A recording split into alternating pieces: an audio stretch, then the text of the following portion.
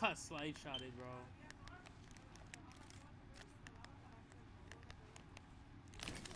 Damn, ain't no way you got that shit happen to you twice, bruh.